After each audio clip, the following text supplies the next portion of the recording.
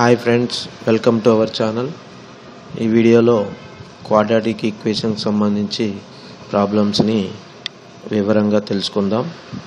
ఇక్కడ చూడండి the sides of a right angle triangle containing the right angle are five x and three x minus one if the area of the triangle is sixty square centimetre find the sides of the triangle ఒక లంబకోణ త్రిభుజము యొక్క భుజాలు. అంటే లంబకోణాన్ని కలిగి ఉన్న భుజాలు five x three x minus one మరియు దాని వైశాల్యము అరవై చదరపు సెంటీమీటర్లు అయినట్లయితే వాటి యొక్క భుజాలు కనుక్కోమన్నారు. ఇక్కడ చూడండి ఏబిసి అనే త్రిభుజము బి దగ్గర నైంటీ డిగ్రీస్ ఉంది. ఇచ్చినటువంటి కొలతలు five x three x minus one మనకు ఈ త్రిభుజము లంబకోణ త్రిభుజం కాబట్టి దీని యొక్క వైశాల్యం సూత్రము హాఫ్ బిహెచ్ అనేది మనకు తెలుసు.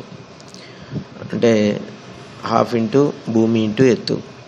హాఫ్ ఇంటూ భూమి ఇంటూ ఎత్తు అంటే ఇక్కడ భూమి త్రీ ఎక్స్ మైనస్ వన్ ఎత్తేమో ఫైవ్ ఎక్స్ దీని ఇక్కడ వైశాల్యం ఎంత ఇచ్చారు? సిక్స్టీ స్క్వేర్ సెంటీమీటర్స్ ఇచ్చారు. కాబట్టి half into three x minus one into five x equal to sixty. దీన్ని మనము సాధించినట్లయితే మనకు ఇక్కడ ఎంత వస్తుంది? Fifteen x square minus five x equal to one twenty. ఎందుకని? రెండు అటు వెళ్ళింది కాబట్టి. తర్వాత five fifteen x square minus five x minus one twenty. ఆ వన్ ట్వంటీని ఇటు తీసుకొచ్చాం. Equal to zero. ఎందుకు? Quadratic equation. వర్గ సమీకరణంగా మార్చుతున్నాం. ఇక్కడ fifteen x square minus five x minus one twenty equal to zero దీన్ని అంతటిని కూడా ఐదు చే భాగించవచ్చు. ఐదు చే భాగించినట్లయితే మూడు x square minus x minus ఇరవై నాలుగు ఈక్వల్ టు జీరో అయింది. దీనికి కారణాంకాలు కనుక్కోవాలి. ఇరవై నాలుగు మూళ్ళు కాబట్టి మధ్యలో ఒకటి వచ్చే విధంగా ఏం చేస్తే బాగుంటుంది? మూడు ఇంటూ ఇరవై నాలుగు. ఆలోచించండి. Three x plus eight x minus three equal to zero వస్తుందన్నమాట. అంటే ఇరవై నాలుగు మూడు అంటే డెబ్బై రెండు. దానికి కారణాంకాలు తొమ్మిది ఎనిమిది డెబ్బై రెండు. అంటే ఇక్కడ నేరుగా స్టెప్ వేయటం జరిగింది. Three x square minus nine x plus eight x minus twenty four equal to zero అని రాసుకొని దానికి కారణాంకాలు చేస్తే three x plus eight into x minus three వచ్చింది.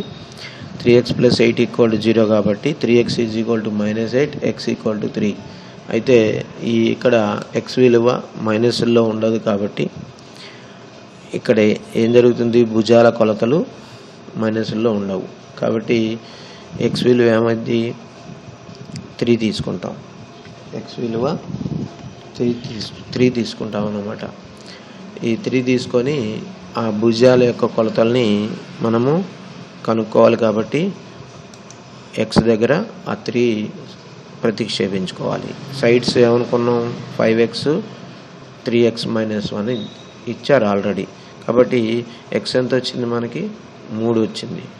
కాబట్టి ఈ మూడు వచ్చినట్లయితే ఐదు మూడు పదిహేను అవుతుంది. కాబట్టి ఇంకొకటి ఇంకోటి ఏంటి three x minus one x దగ్గర ఎంత పెట్టాలి? మూడు పెట్టాలి. త్రీ త్రీ జా నైన్ మైనస్ వన్ అంటే ఎయిట్ అవుతుంది. ఇక్కడ ఇది ఇలా ఎనిమిది సెంటీమీటర్లు పదిహేను సెంటీమీటర్లు. ఇంకొక భుజం కనుక్కోవాలి కదా. కర్ణము స్క్వేర్ ఈజ్ ఈక్వల్ టు ఇక్కడ మిగిలిన రెండు భుజాల వర్గాల మొత్తము. కాబట్టి AC square equal to AB square plus BC square. AC ఎంత వచ్చింది? ఏసీ కనుక్కోవాలి కదా. ఏబీ ఎంత వచ్చింది మనకి? పదిహేను. పదిహేను స్క్వేర్ రాయాలి. ప్లస్ బీసీ ఎంత వచ్చింది? ఎనిమిది స్క్వేర్. దీన్ని పదిహేను పదిహేనులు ఎంత రెండు వందల ఇరవై ఐదు. ఎనిమిది స్క్వేర్ అంటే? అరవై నాలుగు. కాబట్టి ఈ రెండింటిని కూడితే ఎంత అవుతుంది? Two eighty nine. Two eighty nine AC square. కాబట్టి ఏసీ ఏమవుతుంది అంటే root of two eighty nine two eighty నైన్కి రూట్ ఎంత? పదిహేడు. ఇంకొకటి మనం ఆల్రెడీ ఇంతకుముందు చెప్పుకున్నాం. ఏంటి? లంబకోణ త్రిభుజాల యొక్క భుజాలు ఎనిమిది పదిహేను ఉందన్నట్లయితే ఇంకొకటి తప్పనిసరిగా పదిహేడు ఉంటుంది. ఇది మళ్ళీ మనం చేయక్కర్లే. డైరెక్ట్గా గుర్తున్నాయి కాబట్టి రాసేయచ్చు. ఒకవేళ ఆప్షన్స్లో పదిహేడు ఉన్నట్లయితే నేరుగా కర్ణము పదిహేడు మనం పెట్టేస్తాం అన్నమాట. ఈ విధంగా ఏదైనా ఇచ్చిన లెక్కకు సంబంధించి పటాన్ని గీసుకొని దాని నుంచి వర్గ సమీకరణం తయారు చేసుకొని సాధించుకున్నట్లయితే సులభంగా ఉంటుంది. మరొక వీడియోలో మళ్ళీ కలుద్దాం. ధన్యవాదములు. చూస్తూనే ఉండండి. ఆదితా ఛానల్.